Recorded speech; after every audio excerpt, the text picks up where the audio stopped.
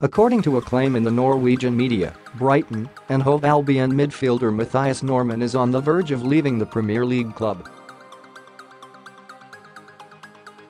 The 22-year-old joined the Seagulls last year, but has yet to make a competitive appearance for the club.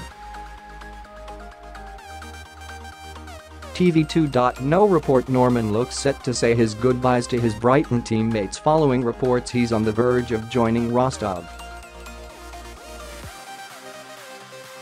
It's not reported if the youngster will be heading to Russia on a loan or permanent deal, but his move should be announced shortly. Normann signed for Brighton from FK Bodø during the 2017 summer transfer window, but the Norway U21 international was instantly loaned out to Ole Gunnar Solskjaer's Molde.